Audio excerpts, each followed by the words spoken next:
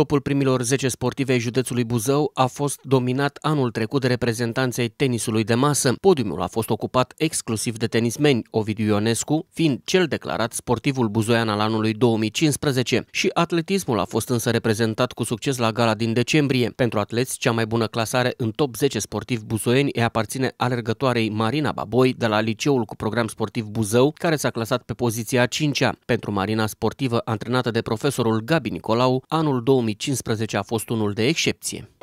Locul 5, deja suntem la jumătatea clasamentului, Marina Baboi. LPS Buzău, atletism, felicitări și antrenorului domnului Nicolau Gabriel.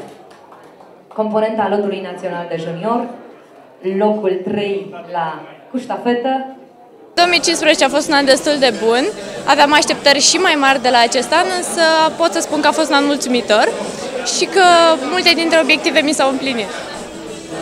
Ce așteptări ai de la 2016? Uh, sper să fie mult mai bun decât anul 2015, mă aștept la mult mai multe performanțe, la rezultate mai bune și sper să fiu sănătoasă ca să-mi pot îndeplini toate obiectivele.